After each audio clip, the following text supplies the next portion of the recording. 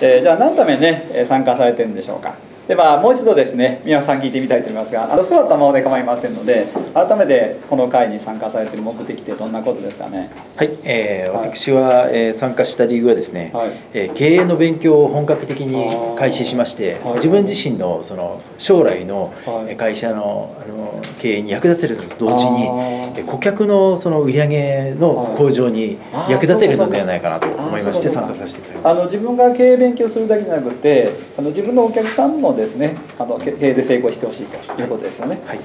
でなんでお客さん成功してほしいんですか？あもちろん自分自身の こともあるんですけどもやはり売り上げが今あの皆さん困っているところもありまして、はい、集客だけじゃなくて、はい、あのビジネスモデルも、はい、あの一体で提案していきたいと、えー、ただ単にその売り上げだけじゃなくて、全体のそのあの利益向上といいますかね、あの本格的にちょっとあの経営者とあとあのそういったところまであの話をしたいそうですよね。やっぱりそれができるのとできない全然違いますからね。はい、はい。えありがとうございます、はい、えーと、だから大事なのはあの自分も、ね、経営で成功したいしお客さんもまあ何て言うんですか、まあ、成功してほしいってですか？お客さんにもまあ息を与えたいってあるんじゃないかなと思います。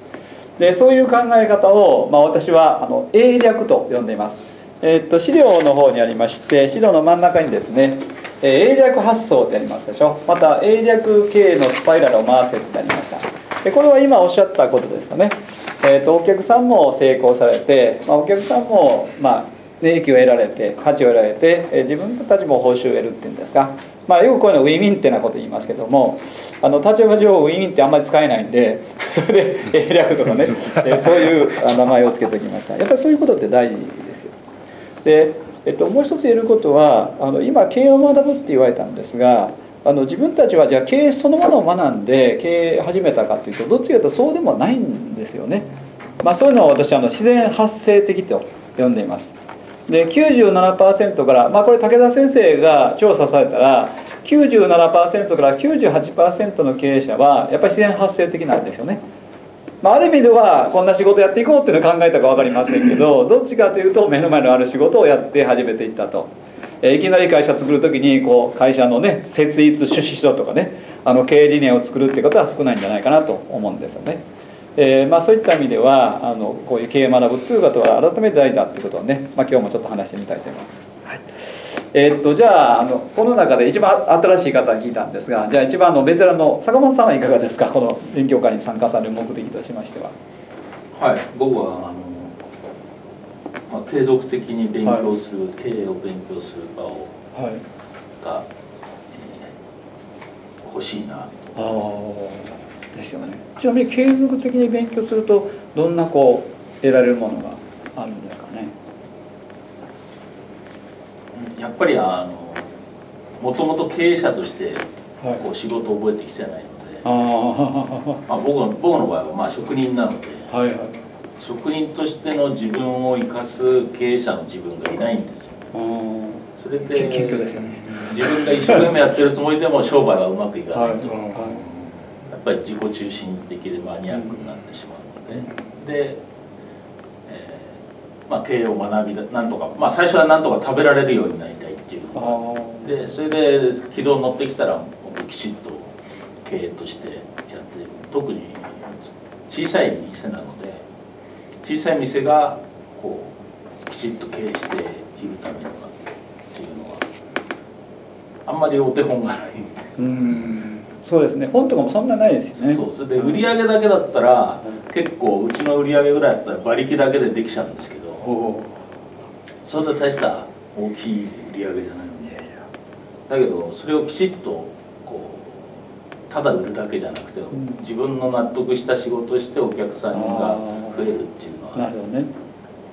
構ハードルが高い、うん、なるほどね、まあ、やっぱりいいいい仕事もしていきたいということですよね。はい、はい。ね、あありがとうございます。じゃあ2人とも拍手を送っていきたい。と思いますで今おっしゃったように、まあ、職人として腕はいいんだけどあの経営とはまた違うっていうこともありますよねこんなこともやっぱり考える必要があるんじゃないかなと思います。えっと、それではですねあの皆さんの資料の1ページのとこに何のためにということで、えー、皆さんが経営戦略学ぶ目的は何ですかっていう時に出てくるものですね大体そこに書いておきました。え今皆さんがね入っていらっしゃるのはそこにあると思いますでまああのお客さんのためにっていうのはありませんけどもそういうこともいらっしゃると思います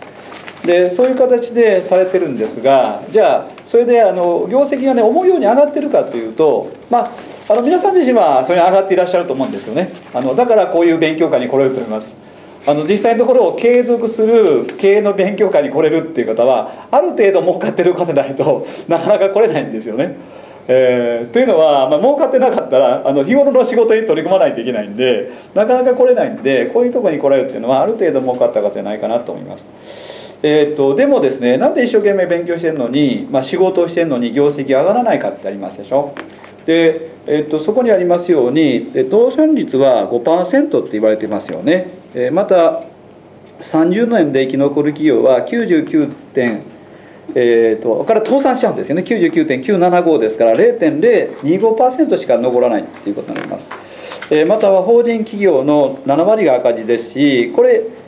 え次のところ今まで言ってませんでしたが自営業の収入は非雇用者これサラリーマンということですね。えの2分の1だそうですよね。でちなみに自営業ってどういう仕事か分かりますか？あのウィキペディアで一応調べてみたんですね。で自営業っていうのはあの会社経営者、まあ、これいわゆる法人経営者ですね、えー、サラリーマン公務員アルバイト無職以外の商業の人だそうです、でえー、会社経営者えー、会社員サラリーマンですねで公務員アルバイト無職以外の人たちのことを、えー、自営業というそうですよね。はい、でそういう方々の収入はですね、えー、実際非雇用者いわゆるサラリーマンの2分の1だそうですよね。えー、これ何が言えるか何が言えるかというと、えっと、自営業の方でも実は経営してるっていうことなんです。じゃあなんでこの一生懸命経営してるのにその業績上げるのは難しいのかっていうことをちょっとね最初に話してみたいと思いますが。